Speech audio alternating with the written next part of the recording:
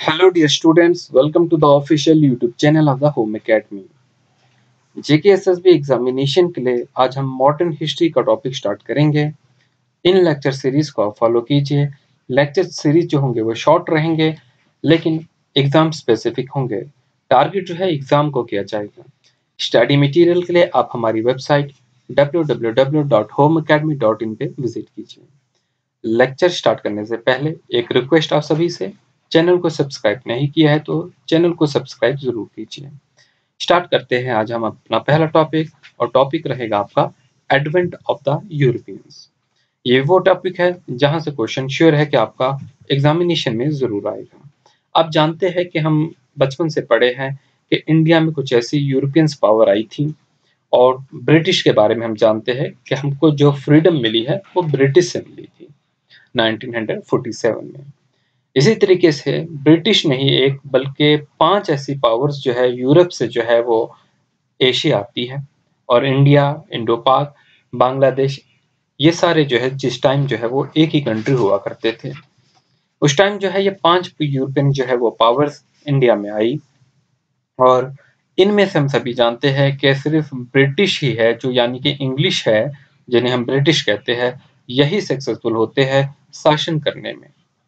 Portuguese भी आए, लेकिन जो है, इनकी सिक्योरिटी जो है पूरी कंट्री में जो है नहीं हो पाई।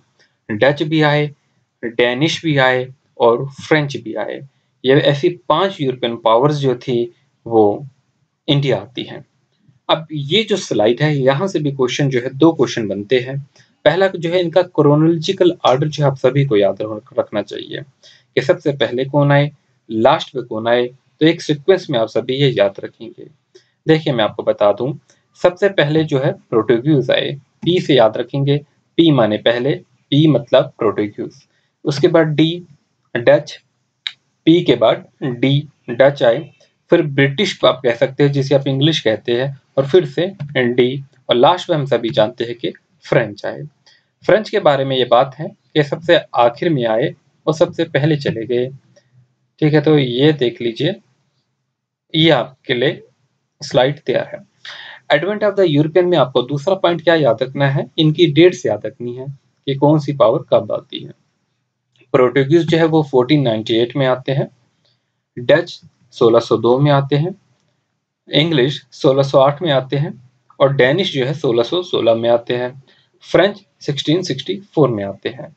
तो ये वो पाँच यूरोपियन पावर्स हैं जो कि भारत आई अब नीचे आप एक फिगर देखेंगे ये आप सिर्फ़ आपकी क्लैरिटी के लिए है यहाँ पर देखिए, ये इंडिया है लेटेस्ट सपोज़ और यहाँ पर जो है यूरोप्स आ रहे हैं।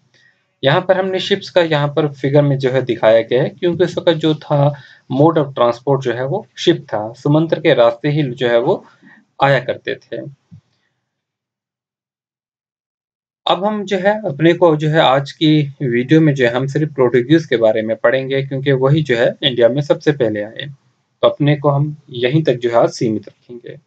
देखिए, जितने भी यूरोपियन पावर आई इंडिया में, उनका मेन जो है वो एम था शासन करना।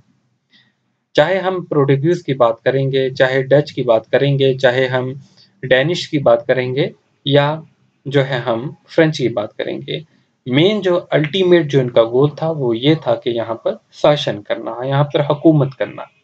लेकिन हम जानते हैं कि हर कोई इसमें कामयाब नहीं हुआ। इनमें जो कामयाब हुए, वो सिर्फ़ ब्रिटिशर हुए। बाकी जो है, उन्होंने ट्राई किया, लेकिन कामयाब नहीं हो सके। लेकिन ब्रिटिशर जो थे, वो कामयाब हुए। क्यों कामयाब हुए?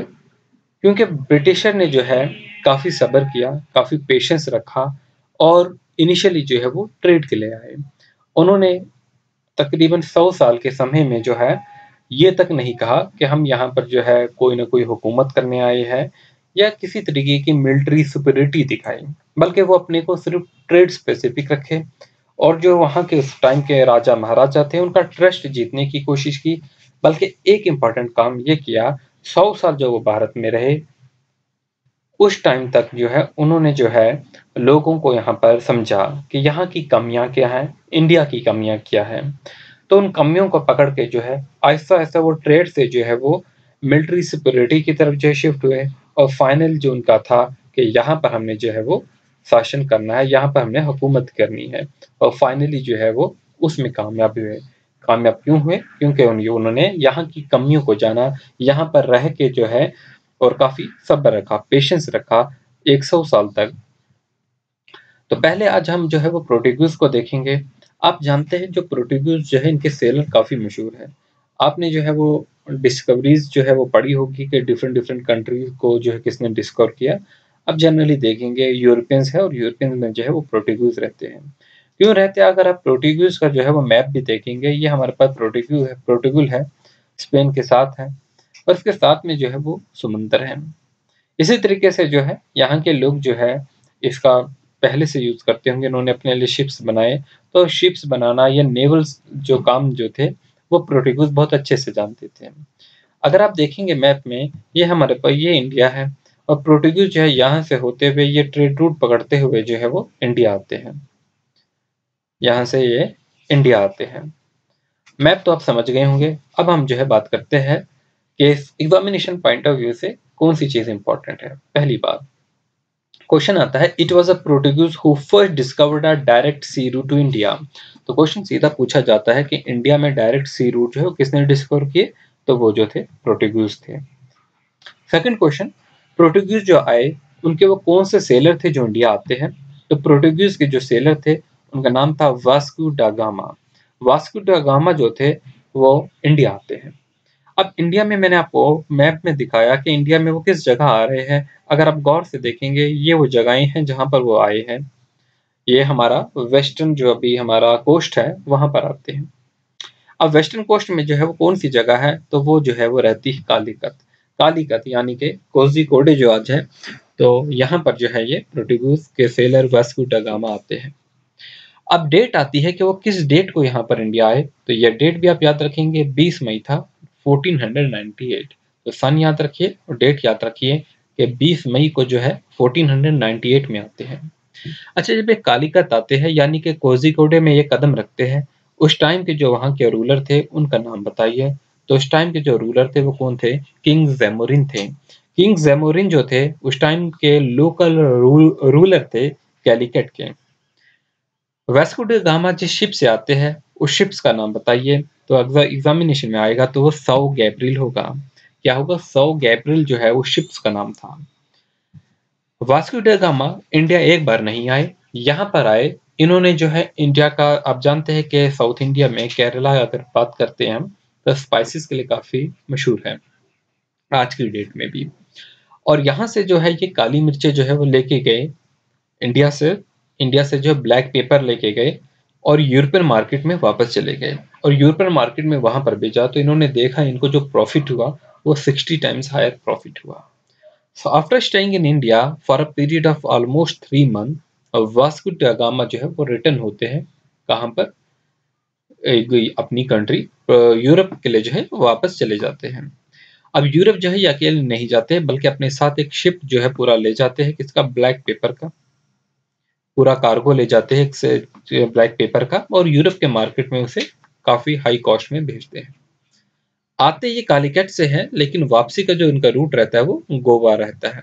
आप देखेंगे ये दो एरो है कि ये आए जो है वो कैलिकट से, लेकिन जब गए हैं तो वो इस एरो से चले गए, यानी कि गोवा के रास्ते वो वापस गए।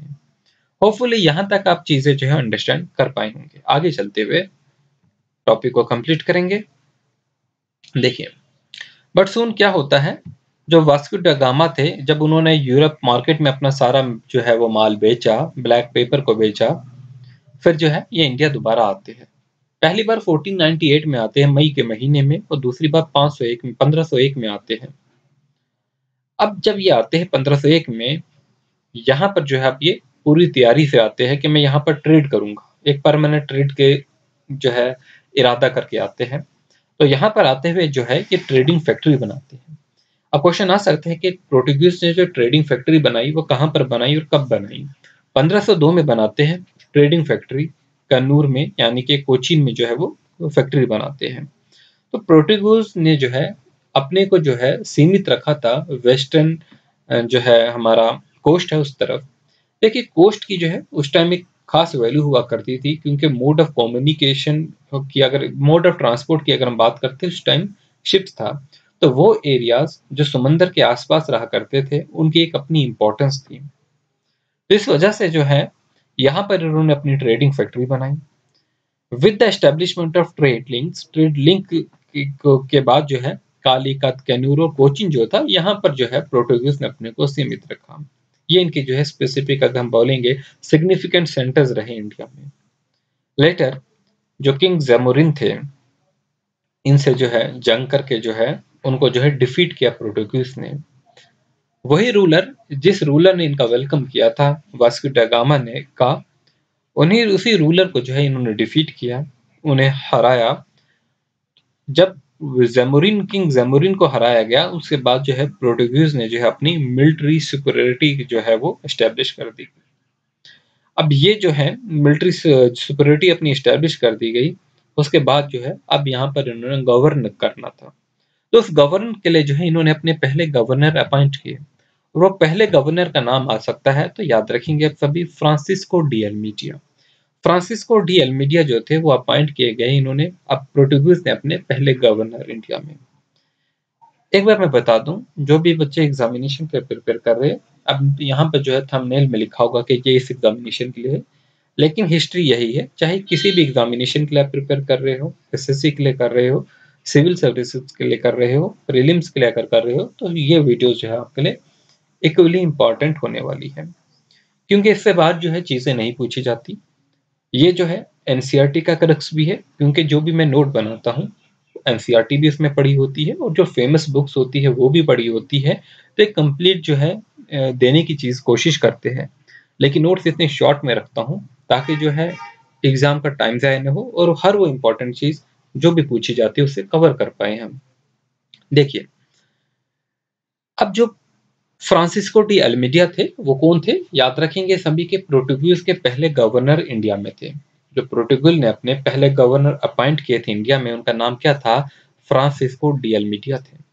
लेकिन फ्रांसिस्को डी अल्मीडिया की अपनी एक पॉलिसी थी, वो गवर्न कर रहे थे, वो अपनी एक पॉलिसी के तहत जो है गवर्न कर रहे थे। पहली बात, कि इंडिया को जो है, उन्होंने जो है अपना जो रूल था, अपनी जो सुपरिटी थी, वो ज़्यादा एक्सपेंड नहीं की इंडिया में। वो अपने को जो है, वो इंडियन ओशन में जो है, सीमित रखना चाहते थे। वहीं तक जो है, अपने को रखना चाहते थे। और उसी पॉलिसी को उनकी कहते हैं ब्लू वाटर पॉलिसी ये एग्जामिनेशन में क्वेश्चन आया हुआ है। जेके एस एस बी की मैं बात करता हूँ। देखिए ब्लू वाटर पॉलिसी क्या था? जो प्रोटुगू के जो है, वो गवर्नर थे, नाम था उनका फ्रांसिस्को डीएल मीडिया उनकी एक पॉलिसी थी कि उन्होंने जो है इंडियन ओशन तक ही अपने को जो है सेंट्रिक रखना था। तो इसी को कहा जाता है ब्लू वाटर पॉलिसी और प्रोटेग्यूस को कहा जाता है master of the Indian Ocean याद रखेंगे आप सभी इसे। अब देखिए फ्रांसिस्को डी अल्मीडिया के बाद जो है गवर्नर चेंज होते हैं और अब जो गवर्नर बनते हैं वो अल्फेंसो डी अल्बरक्यू ये काफ़ी इंपॉर्टेंट गवर्नर है क्योंकि इन्हीं को माना जाता है रियल फाउंडर और actual founder of Portuguese power in India Almeida को जो है 1509 में जो है ये रिप्लेस करते हैं। और ये आ, जो है क्या करते हैं उसके बाद 1509 में ये गवर्नर बनते हैं और 1510 में जो है ये गोवा को कैप्चर कर लेते हैं। हम जानते हैं प्रोटोग्यूज जो है आज भी गोवा में है। प्रोटोग्यूज जो थे सबसे पहले तो भारत आए लेकिन सबसे आखिर में जाने वाले हैं। यहाँ पर जो है, गोवा को कैप्चर करने वाले कौन थे? एल्फेंसो अल्बुक्यूर्की जो थे, आप स्पेलिंग देख लीजिए। ये जो थे अल्फेंसो अल्बुक्यूर्की जो थे, ये सेकंड गवर्नर बनते हैं प्रोटोग्यूज के इंडिया में। और जो है, उस टाइम जो है सुल्तान ऑफ़ विजयपुर जो थे, उन्हें जो है ये हराते हैं और जो है गोवा को कैप्चर करते हैं। अभी तक हम पढ़े थे 1509 तक जो थे प्रोटोग्यूज की जो कैपिटल थी, वो क्या थी? वो कोचिन थी। कोचिन थी। 1509 में भी कोचिन रहती है। लेकिन अभी आप फ्यूचर में पढ़ने जा रहे हैं कि वो गोवा जो इन्होंने अभी कैप्चर किया, वो 1530 के आसपास जो है प्रोटोग्यूज की परमानेंट कैपिटल बन जाती है। तो वो कैपिटल जो है वो शिफ्ट कर लेते हैं। अब जो हमारे अल्फेंसो अल्बुक्यूर्की जो थे, इन्होंने कुछ अच्छे काम भी किए। जैसे कि इन्होंने जो है ही prohibited sati practice in India आप पढ़े होंगे, बहुत से ऐसे जो है वो रूलर आए, बहुत से ऐसे यूरोपियंस भी आए, ऐसे गवर्नर भी आए वायसराय भी आए, जिन्होंने जो है सती प्रैक्टिस को जो है वो बंद किया था इंडिया में प्रोहिबिट किया था, इसे रोका गया था। लेकिन आप जानते हैं कि परमानेंट किसने रोका है? वो लास्ट में जो है, जैसे जैसे मॉडर्न भी होते गए लोग, इस प्रैक्टिस को जो है वो जो है वो परमानेंट जो है वो बंद कर दिया गया।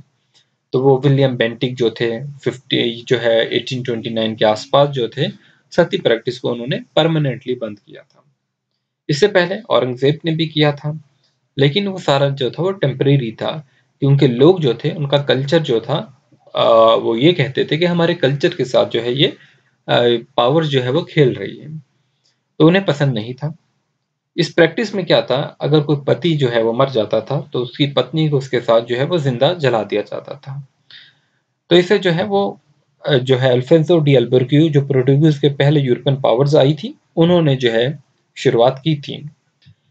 अल्फेंसो डी अल्बर्क्यू जो है काफ़ी इंपॉर्टेंट है। आप जानते हैं कि आजकल मैंगो का सीज़न आने वाला है और ये जो मैंगो की एक वैरायटी थी अल्फेंसो ये जो है इन्हीं के नाम पे पड़ी है। इन्होंने बहुत से ऐसे काम किए, जैसे पोटैटोज जो है इंडिया में लेके आए। पहले इनके बारे में कुछ देख लेते हैं। ये इनका जो है एक पिक्चर बनाया हुआ है। एल्फेंसो का, ये इसे ड्यू का गोवा कहा जाता है। इस जनरली कंसिडर मिलिट्री जीनियस भी कहा जाता है। Probably the greatest naval commander of the age तो प्रोटिग्यूल के जो है कमांडर काफ़ी इंपॉर्टेंट है। नेवल कमांडर अगर हम बात करते हैं, क्योंकि बहुत सी ऐसी कंट्रीज़ हैं जिनकी डिस्कवरी का नाम जो है प्रोटिग्यूल नेवल कमांडर्स पे जाता है। गवर्नर जो है प्रोटिग्यूज के रहे इंडिया में 1509 से ले 1515 तक रहे। और इनका एक इंपॉर्टेंट काम वो यही था कि इन्होंने गोवा को कैप्चर किया, जो आखिर तक जो है गोवा की कैपिटल रही। अब जो मैंगो की एक वैरायटी थी, वो इन्हीं के नाम पे पड़ी है एल्फेंसो डी एल्बेरक्यू के नाम पे बनी है। और इन्होंने जो है प्रोटुगीज की कॉलोनीज जो है इंडिया में बनवाई। अब हम बात करते हैं आगे एक और गवर्नर बनते हैं, इनके बाद नूनह द किन्हा जो कि 1515 में बनते हैं, इसके आसपास शायद। नहीं, ये बने हैं 1529 में, और काफ़ी देर तक जो है ये गवर्नर रहे, तकरीबन आठ नौ साल। लेकिन ये इनके इंपॉर्टेंट गवर्नर हैं। एल्फेंसो डी एल्बर्क्यू जो है, ये तो रियल फाउंडर रहे प्रोटोग्यूज के इंडिया में, ये स्टेप जो है याद रखेंगे।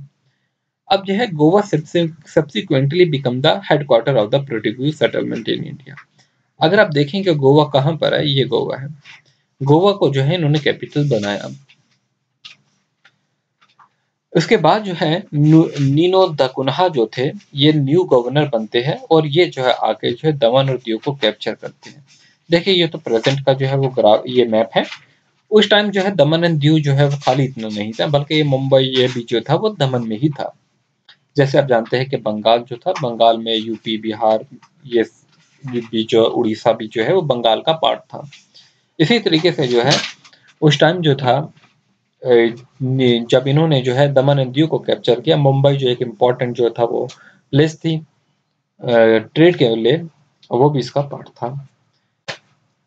और ये नीनू द कुनाही ही थे, जिन्होंने जो है 1530 में कैपिटल को शिफ्ट किया, कोचिन से गोवा जो है वो कैपिटल को शिफ्ट किया। By the end of the sixteen century Portuguese ने जो है वो कैप्चर किया खाली गोवा नहीं, बल्कि दमन को, दीव को और साल्स्टी को। ये भी क्वेश्चन आता है, वो कौन सी तीन जो है प्लेसेस थी जिन्हें इन्होंने कैप्चर किया? तो इसे भी भूलेंगे नहीं आप। अब जो है प्रोटोग्यूज जो थे, इन्हें जो है हार का भी सामना करना पड़ा इंडिया में और इनको हराने वाले थे शाहजहां।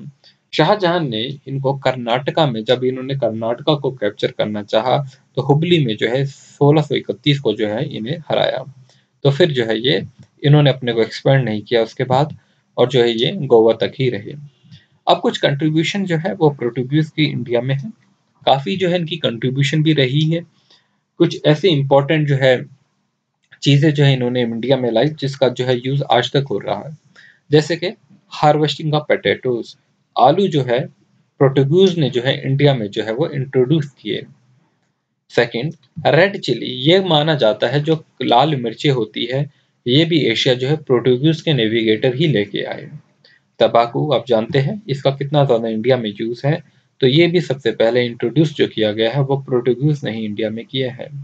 फिर हम बात करते हैं शिप बिल्डिंग जिसपे आज जो है इतना बिज़नेस चल रहा है। शिप बिल्डिंग भी जो है, यही जो है प्रोट्यूज जो है इंडिया को दे के गए हैं। पेनी की कंट्रीब्यूशन मानी जाती है कि कैथोलिक जो डिज़ाइन है चर्च का, वो भी जो है यही लेके आए हैं। फिर प्रिंटिंग प्रेस प्रिंटिंग प्रेस जो है इंडिया में जो एंटर होती है, ये भी गोवा से ही एंटर हुई है। तो आप देखिए, ये देखिए नीचे आप, Goa had the first printing press in India तो गोवा जो है, आप जानते हैं, आप ये कनेक्ट जो था प्रोटोग्यूज से था कि प्रोटोग्यूज यहाँ पर आना, आया आया करते थे, जाया करते थे। तो मे बी जो है, उन्होंने ही जो है वो लाई हो। फ़र्स्ट प्रिंटिंग प्रेस जो है इंडिया में जो है स्टैब्लिश की गई 1576 में जो है स्टैब्लिश की गई by the Jesuit missionaries in Goa first book जो है प्रिंट की गई इंडिया में, उस बुक का नाम था डॉक्ट्रीन क्रिस्टा 1538 में 78 में जो था, वो बुक थी डॉक्ट्रीना क्रिस्टा तो ये पहली बुक जो थी वो प्रिंट की गई है इंडिया में. अब इसके बाद जो है डच होंगे, लेकिन हम एक दिन में जो है, एक ही जो है वो प्रोटोग्यूज की पावर को पढ़ेंगे. सॉरी यूरोपियन पावर को पढ़ेंगे और उसके बाद एमसीक्यू जो है वो कवर कवर करेंगे इस टॉपिक पे। Thanks for watching wish you good luck